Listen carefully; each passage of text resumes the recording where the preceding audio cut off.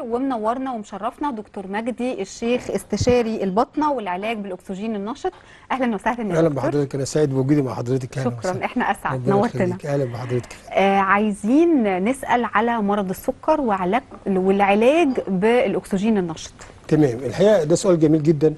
مرض السكر زي ما أنت حضرتك عارفة آه، عدة أنواع. أوكي. وأكتر آه، نوعين مشهورين طبعا اللي هو النوع الأول والنوع الثاني طبعا. النوع الأول طبعا ده بيكون نتيجة خلل في جهاز المناعة آه، الجهاز المناعة بيهاجم الخلايا اللي بتفرز الأنسولين وبالتالي المريض آه، بيصبح غير قادر على آه، إنتاج إنسولين خالص في الجسم. وبالتالي المريض ده بيقعد طول عمره ياخد إنسولين طول حياته. تمام. وعادة بيجي في سن مبكرة لكن النوع الثاني اللي هو أشهر يعني بنسبة 80% بيصيب الناس الك- الكبار في السن وده بيكون له سبب سببين اثنين السبب الأول إن هو بيعمل ضعف في البنكرياس فبالتالي نسبة الإنسولين اللي بتفرز من البنكرياس قليلة وفي نفس الوقت بيعمل مقاومة للخلايا اللي الإنسولين بيشتغل عليها. فالإنسولين بيشتغل بدون فاعلية ملوش أي فاعلية ولا تأثير على آه، الأنسجة.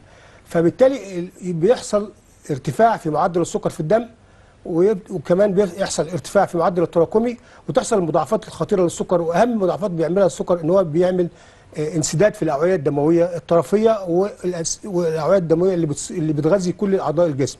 لو عمل لي انسداد في الشريان اللي بيغذي عضلة القلب الإنسان هيجي له جلطة. لو عمل لي انسداد في شرايين المخ الإنسان هيجي له طبعا جلطة في المخ وعدم القدرة على التركيز. ولو عمل انسداد في الأطراف ال- وخاصة القدمين بيحصل طبعا آه، إن هو بيعمل ترسيب لأنه طبعا السكر دايما بيكون معاه ارتفاع في نسبة الكوليسترول اللي هو منخفض الكثافة فبيترسب في الشرايين الطرفية وبيقلل كمية الدم وتدفق الأكسجين وبالتالي مرضى السكر دايما بيكونوا أكثر عرضة للحقيقة مضاعفات خطيرة ومن ضمن المضاعفات اللي هي القدم السكري. دي أكثر المضاعفات حدوثا في مرضى السكر وصراحة من أصعب ال- الحاجات اللي بتصاب اللي بتصيب مريض السكر وغالبا أحيانا بيحصل فيها التهابات وتقرحات واحيانا بتصل إلى درجة إن المريض بيلجأ للمستشفى لعملية البتر أو, وبيتخلص من جزء عزيز على حياته. فإحنا مش عايزين الأمور توصل توصل للمرحلة دي. إيه اللي بيعمله الأكسجين النشط الحقيقة الأكسجين النشط ده هو عبارة عن إيه؟ عبارة عن شكل من أشكال الأكسجين. آه، بيختلف عن الأكسجين اللي إحنا بننفسه إنه هو بيتكون من ثلاث ذرات ونشط فائق النشاط. مفيش أي آثار جانبية يعني ده مجرد أكسجين يعني ما فيهوش أي آثار جانبية.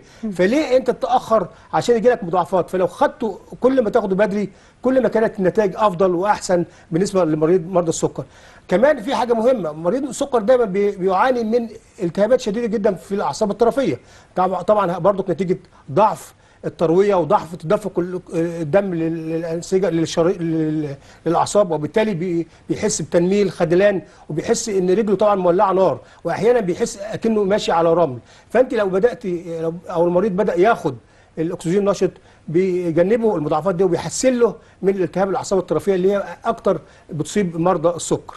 فطبعا حاجة كمان بالنسبة لل- للأكسجين النشط إن هو أساسا بي- بيساعد على إفراز مواد داخلية داخل الجسم بتقلل الالتهابات اللي بتحصل لمريض السكر لأن مريض السكر بيكون أكثر عرضة للالتهابات بيكون أكثر عرضة للجلطات بيخلي ال- الدم موجود في صورة لزجة. فالأكسجين النشط الحقيقة بيساعد تدفق الدم وبيخلي الدم وبيأثر على كرات الدم الحمراء بحيث إنها تقدر تتغلل داخل الأنسجة وت- وتدي أكسجين آه، للمكان ده وتعيد نشاطه وحيويته إلى وضعه الطبيعي. ممتاز. عليه حضرتك يا دكتور. آه، بالنسبة طبعا زي ما حضرتك شايفين إن كل الحالات اللي شفتوها دي الحقيقة كانوا بيشتكوا من أعراض زي التهابات في في الأعصاب وشكشكة وتنميل لدرجة إن ممكن المريض اللي بيجي له التهاب في في الأعصاب ما بينامش طول الليل وما بيطيقش أي حد يحط يلمس رجله وبيمشي أكنه ماشي على رمل من أول جلسة أو تاني جلسة بيبدأ يحس إن الأعراض دي بدأت تختفي. كمان في نقطة مهمة جدا المرضى اللي هم بيصابوا بالتهاب في الشبكية.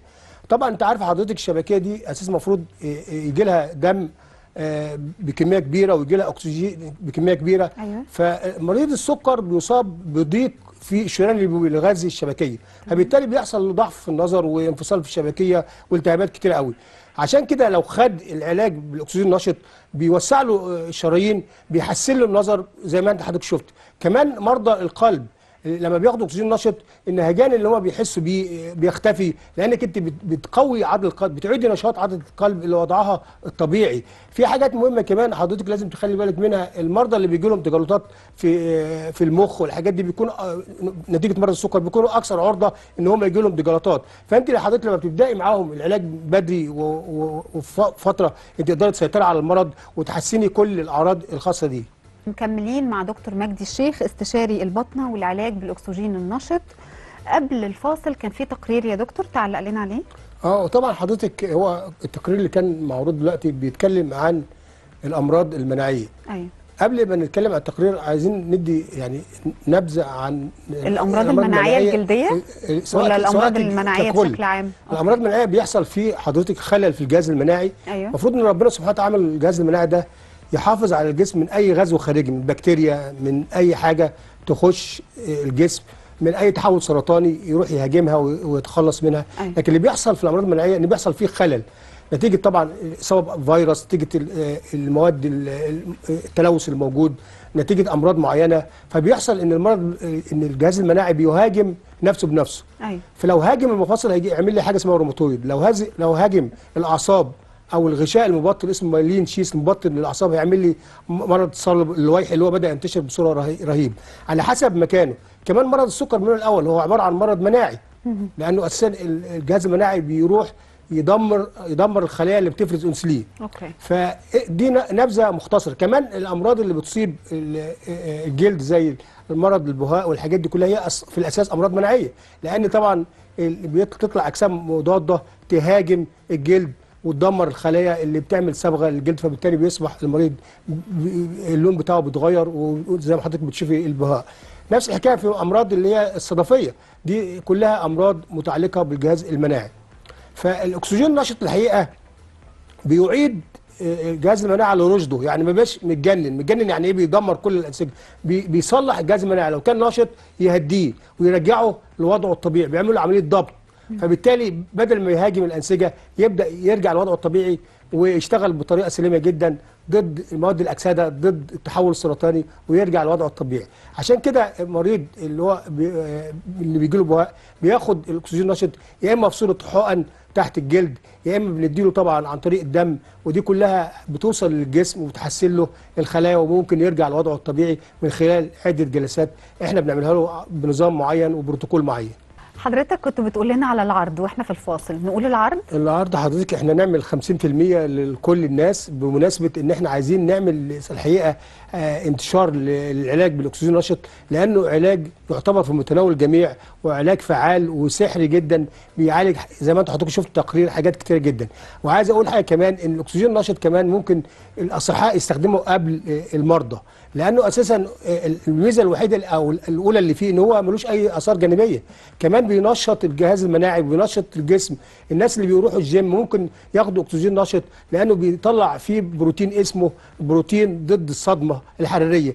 بيروح الجيم يا- ياخد ساونا حرارية عشان يطلع يطلع المادة دي اللي بتحمي الجسم. بتحمي نضاره الجلد بتحمي الشب... بت- بتكافح الشيخوخة فبالتالي بسهولة جدا ياخد يبدأ ياخد جلسات عشان آه، نتحسن الحالة العامة بالنسبة له وإحنا بنرحب. بالناس كلها يجوا لنا ويشرفونا في أي وقت أيوه. وبنساعدهم جدا حتى لو هم في بعض الناس ما تقدرش تدفع إحنا بنحاول نديلهم ونساعدهم ممتاز. عشان نقدر نجيب نتائج كويسة إن شاء الله بشكر حضرتك يا دكتور. نورتنا وإن شاء الله نشوفك. مرة شاء وتشرح لنا أكتر أنا سعيد بوجودي مع حضرتك حضرتك يا دكتور الحقيقة مجدي وإن شاء و- الله ندعو الله إن الناس يعني تكون المعلومه وصلت بسهولة وفهموا ال- الأكسجين النشط بصورة جيدة حضرتك. نورتنا